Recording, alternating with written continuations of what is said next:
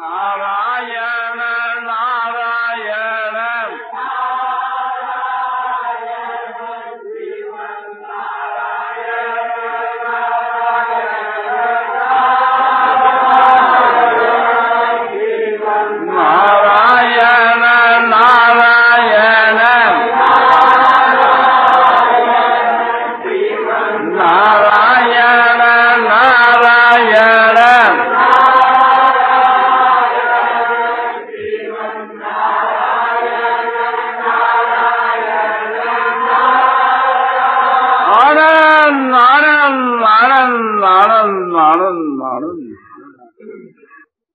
हमारे इस भारतवर्ष के माँ ऐसे ऐसे पुरुष हुए हैं, जिनके द्वारा लाखों करोड़ों का उद्धार हो गया। हमारे पुराणों के माँ कथा आती है, एक कीर्तिमान नाम का राजा हुआ। उसकी कीर्ति अभी तक संसार के माँ छाई हुई है। उस राजा का नाम था कीर्तिमान। वे भगवान के उच्च कोटि के भक्त थे।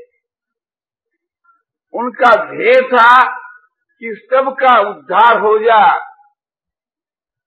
वे राजा चक्रवर्ती थे। सारी पृथ्वी के ऊपर, सारी पृथ्वी के ऊपर उसका शासन था। उसने अपने देश में सारे राज्य के बीच के वहाँ ये कानून बना दी कि मनुष्य मात्र को भगवान का भजन करना होगा। और सब कोई भगवान का भजन करते थे।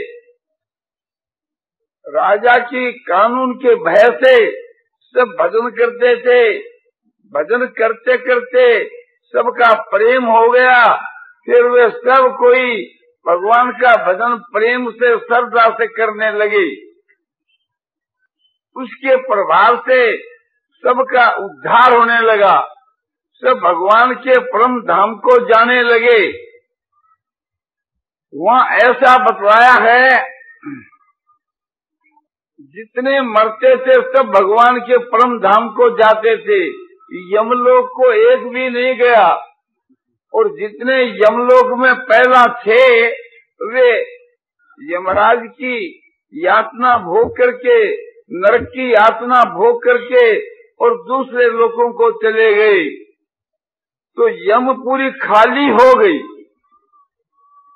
जितने जो पैदा के नरक में थे, वे तो यातना भोग करके दूसरे दूसरे लोगों को, दूसरी योनियों को चले गए। और नया कोई गया ही नहीं। तो यमपुरी खाली हो गई। तो यमराज जो है, ब्रह्मा जी के पास में गए। और ब्रह्मा जी से जाकर के कहा कि मेरी पूरी के माँ कोई नहीं है तो मैं किस पर शासन करूँ? या तो कोई ऐसी तजवीज करो जो यमपुरी में लोग जाना शुरू हो जाए, और या मुझको कोई दूसरा काम दो। मैं वहाँ निकम्मा बैठा क्या करूँ? धर्मराज ठहरे भले आदमी थे। आजकल की माँ पर कम कस नहीं थे। तो ये बात यमराज जो है ब्रह्मा जी से कही। जब ब्रह्मा जी ने कहा, चलो भगवान के पास।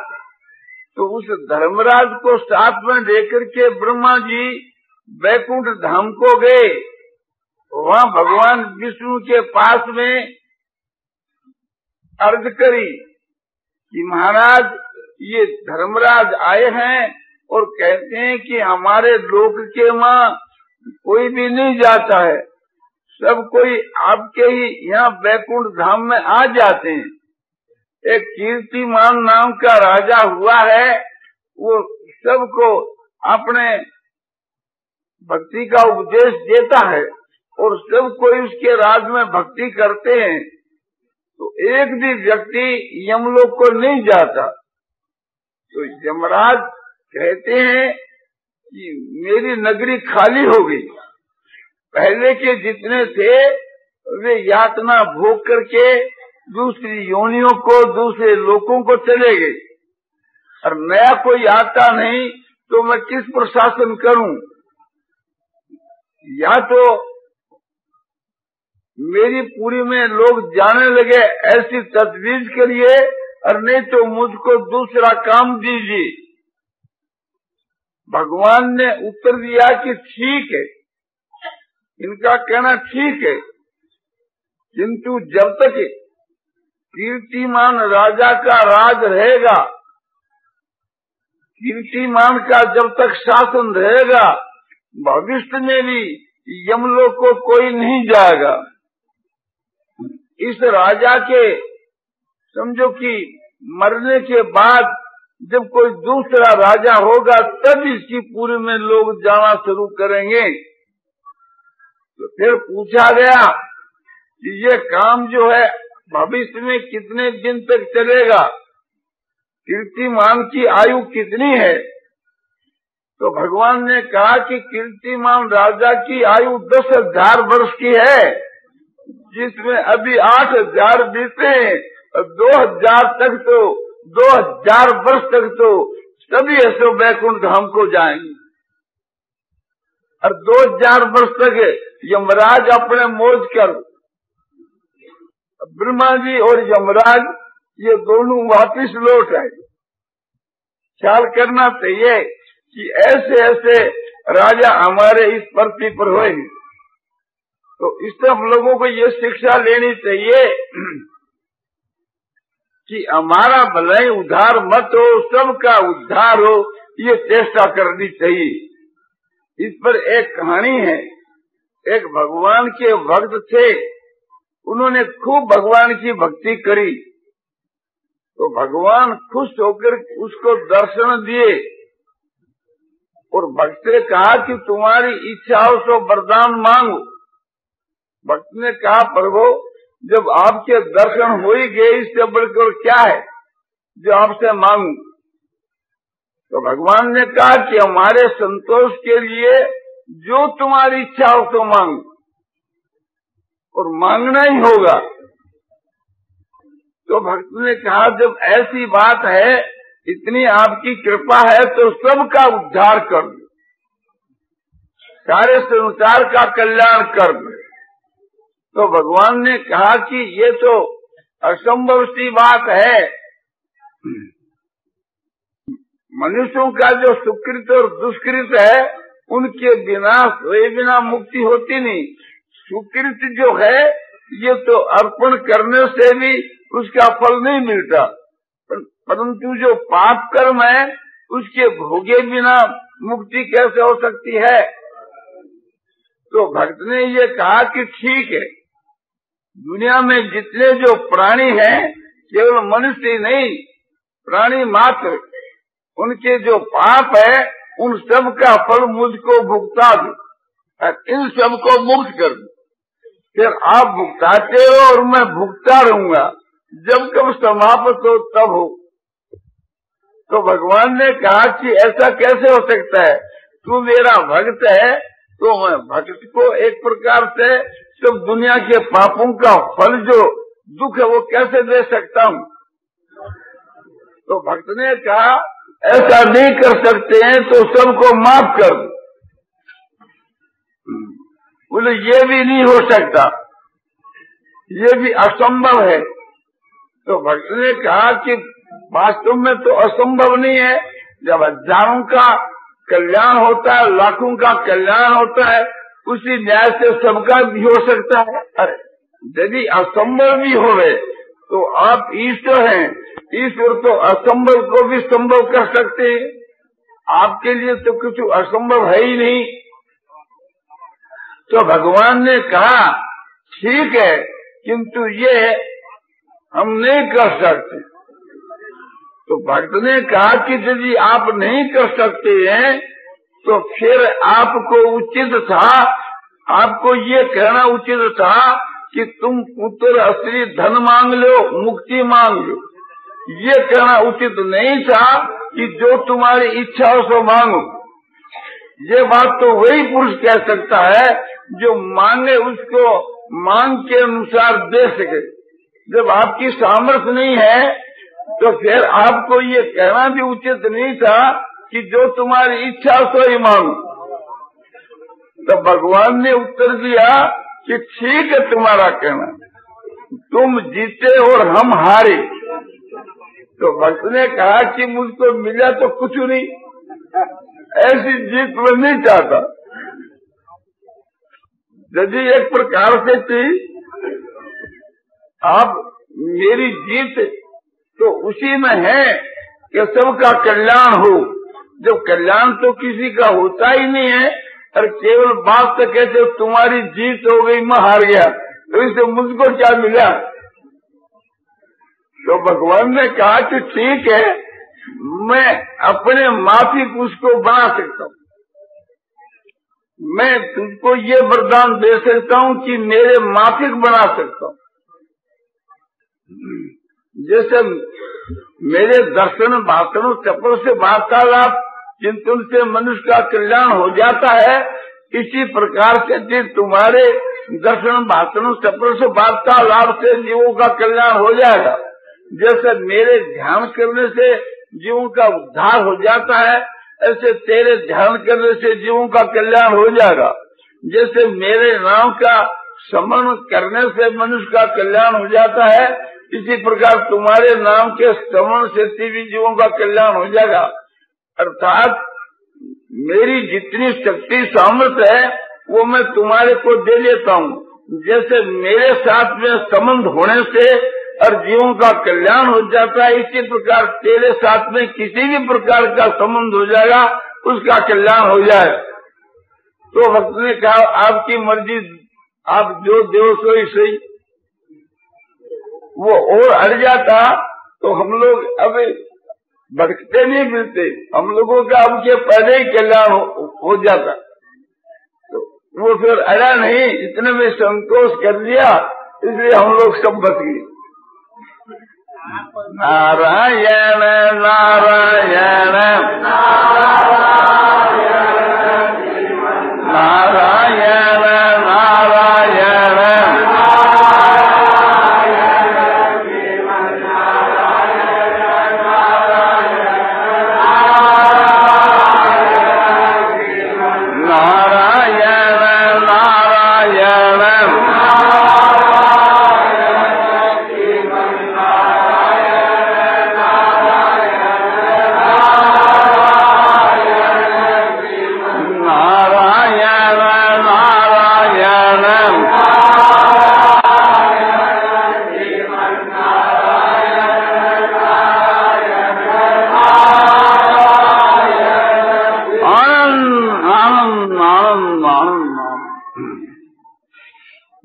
आपको बात सुनाई गई, ये कथा नहीं है, ये एक कहानी है।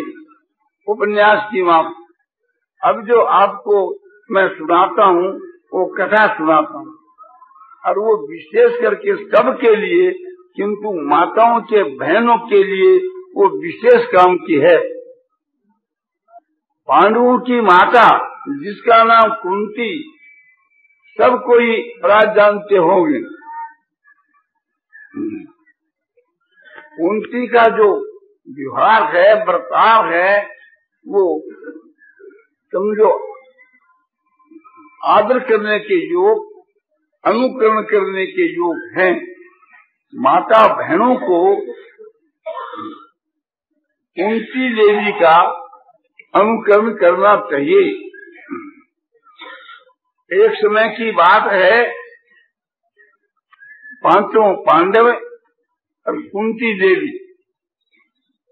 ये एक चक्रा नगरी में निवास करते थे। पांडव बच्चे थे, उन किसी का विवाह नहीं हुआ था। बच्चे का मायना छोटे बच्चे नहीं। जैसे जवान अवस्था के वहाँ थे, किंतु किसी की शादी नहीं हुई। खाली एक भीमसेन का इंद्रा के साथ में विवाह हुआ था। जो राक्षसी है। जिसका पुत्र घटोत्कच हुआ। एक समय की बात है, ये ब्राह्मण के घर के ऊपर छिप करके दुर्योधन के भय से छिप कर रहा करते थे। पाँचों पांडव और कुंती देवी और वहाँ एक प्रकार से अपना गुजारा करते थे। पाँचों पांडव वन में जाकर के कंद, मूल, फल जाते और अपने उसे भोजन करके अपना गुजारा करते थे। एक दिन की बात है, रात्रि का समय था। एक टिकरा नगरी का जो राजा है उसने सिपाही भेजा। और वो सिपाही आकर के कह गया कि आज तुम्हारी पारी है। इस बात की उस राजधानी के वहाँ एक बकासुर नाम का राक्ष रहता था। और राजा उसके लिए जो प्रबंध कर रखा था, उसके भय से।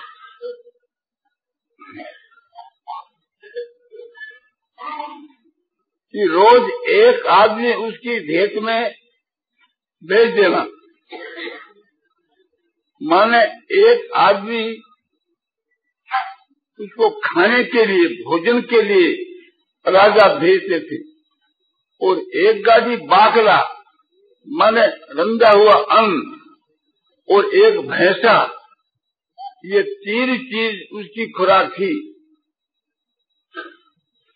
और उसका ये आर्डर था कि जिस दिन ये नहीं पहुंचेगा, मैं सब नगर को विध्वंस कर दू और जिसकी पारी रहती थी, वो यदि नहीं भेजता था तो आकर के उसके घर में जितने हैं, सबको वो राक्ष खा जाता। तो रात्रि का समय हुआ जो ब्राह्मण जिसके घर में पांडव रहते थे, वो दुखी तीसरे से थी अपने अस्त्री से कहने लगा कि आज बलिदान तो बलिदान के माँ राक्ष की भेंट में चला जाऊँगा। मेरा कर्तव्य है एक प्रकार से थी आप सबकी रक्षा करना। उसकी स्त्री ने कहा कि नहीं, ऐसा नहीं हो सकता। उस राक्ष की भेंट में बलिदान के लिए मैं जाऊँगी। मेरा धर्म है कि अपना प्राण देकर के पति का प्राण बचाना।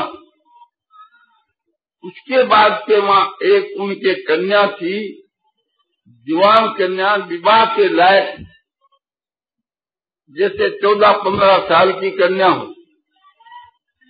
उस कन्या ने कहा, पिताजी, आपके बिना भी काम नहीं चलेगा।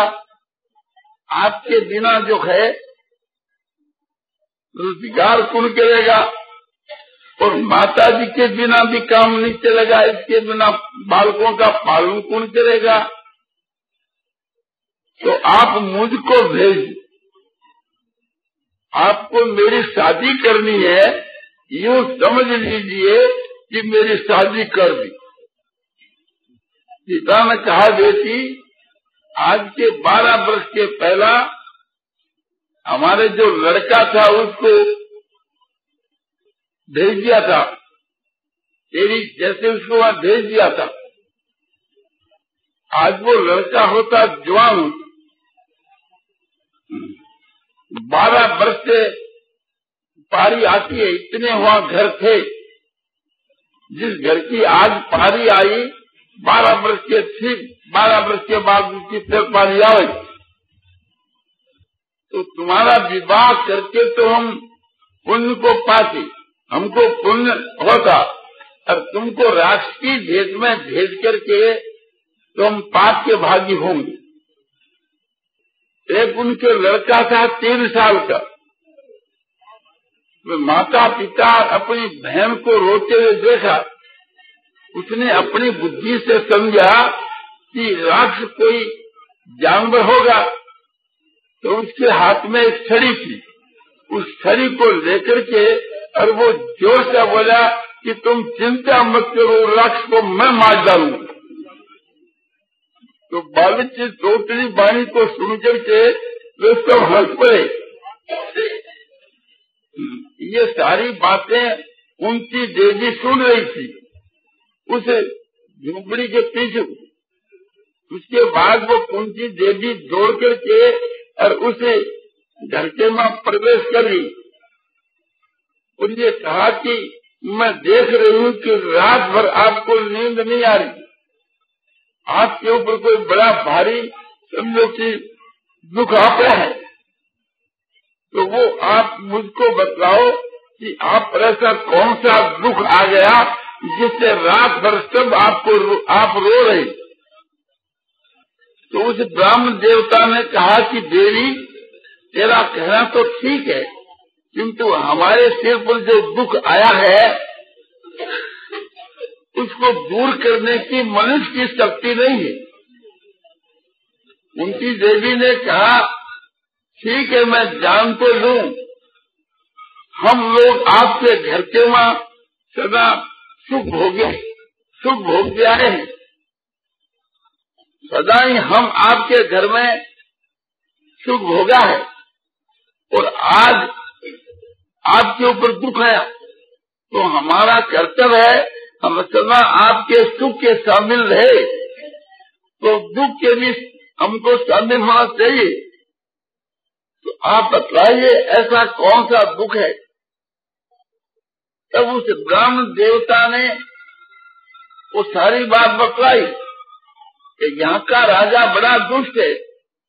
एक राक्षस के भय से प्रजा के ऊपर कर लगा दिया कि उस राक्षस को एक मनुष्य, एक भैंसा, एक गाड़ी बाकला ये रोज देना पड़ता है। और जो सिर टेम पर ये सब प्रबंध नहीं करता है, वो राष्ट्र आकर के उसके घर वालों को सन को खा जाता है। तो इसलिए बात होकर के ये सब भेजना ही पड़ता है। तो आज हमारी पारी है। आज के बारह वर्ष के पहला भी हमारी पारी आई थी, तब हम अपने लड़के को भेज कर करके एक प्रकार से आज तक उसका दुख और पश्चाताप करते हैं। तो इस बात को लेकर के मैं तो कहता हूँ कि राष्ट्र की भेद मैं चला जाऊँगा। मेरी स्त्री कहती है कि नहीं, मैं जाऊँगी। मेरा कर्तव्य है पति का प्राण बचा करके भी अपना प्राण देना चाहिए। प्रिया कन्या कहती है कि मैं चली जाऊँगी अब मुझको भेज दो। या विवाह के लायक है। या कहती है कि आप समझ लो कि इसका विवाह कर दिया। किंतु ऐसा हम कैसे करें? विवाह करने से तो हमको पुण्य होता है, राष्ट्र की भेंट में भेजें तो हमको पाप होता है। इसलिए हमारे घर के बीच के वहाँ ये झगड़ा है, प्रेम की लड़ाई है। वो तो क्या मैं जाऊँ, वो क्या मैं जाऊँ, वह क्या मैं जाऊँ? तो कुंती ने कहा कि आप कोई बात की चिंता नहीं करें। हम आपके घर में सदा सुखी रहे हैं। आपके सुख के साथ सदा सुखी रहे हैं। सुख भोगते आए हैं। और आज आप में विपता आ गई तो हमको दुख के भी शामिल होना चाहिए।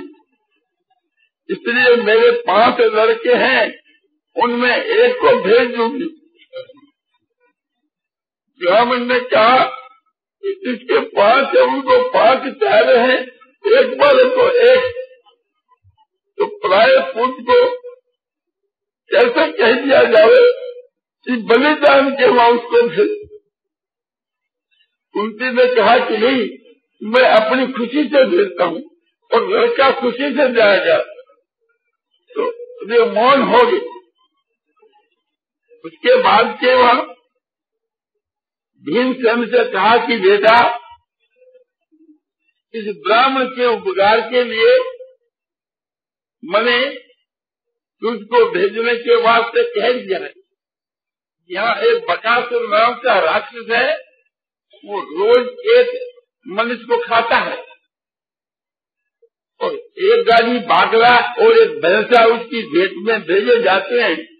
तो इस ब्राह्मण के उपकार के लिए और इन्हें ब्राह्मण के स्थान में मैं तुमको दे देगी ये सुनकर के भीमसेन बहुत खुश हुआ।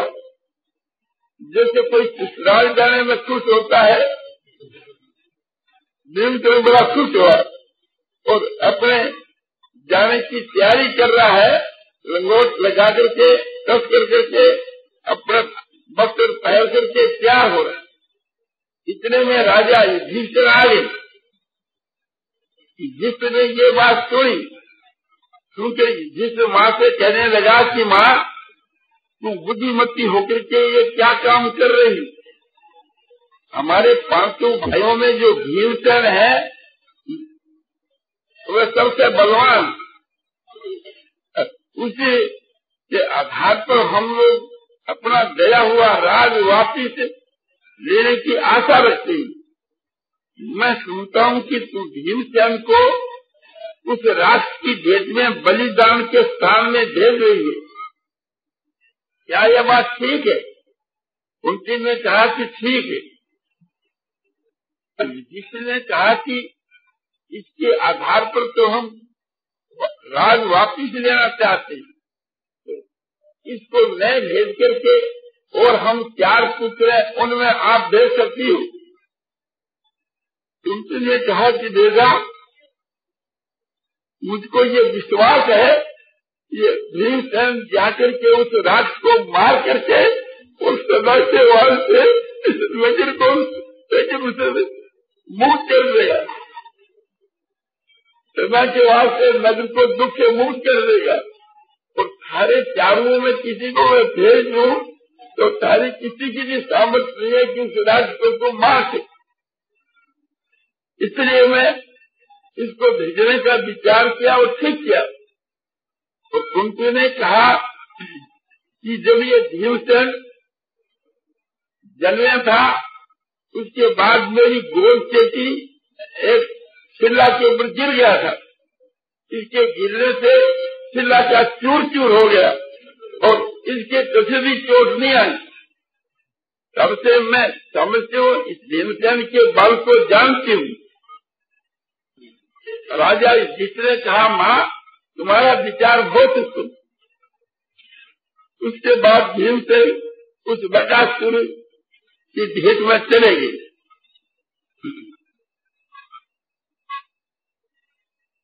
वहाँ एक बुर्ज थी। उसे बुर्ज के ऊपर चले गए। और उस राष्ट्र के आने में किसी विलम्ब हो गया। और भीमसेन काल से भूखा था। तो राक्ष के लिए जो खाने के लिए अन्न ले गया था, वो भीमसेन खाने लगा। थोड़ी देर के बाद वो राक्ष आया। राष्ट्र ने दूर से देखा कि ये बलिदान के रूप में मेरी भेंट में कौन मनुष्य है? जो मेरे लिए अन्न लाया गया, उसको ये खा रहा है। इस मूर्ख को ये पता नहीं कि मैं तुझको दिखाऊँगा। तो लिख आकर के उसने ललकार के कहा, अरे, मेरे लिए लाया हुआ अन्न तू खा रहा है। तुमको मालूम नहीं है कि मैं तुझको भी खाऊँगा भीमसेन चुप रहे, कोई जवाब नहीं दिया। तो उसके पछाड़ी जाकर के मुक्का बाँध के उसके मदद के वहाँ दोनों हाथों से बड़े ज़ोर के साथ चोट लगाई। किंतु भीमसेन को कुछ भी नहीं। उसके हाथ झमझम करने लगे। मानो कोई अपने पत्थर के ऊपर, पहाड़ के ऊपर कोई अपने मुक्का लगाया और भीमसेन खाते ही रहे।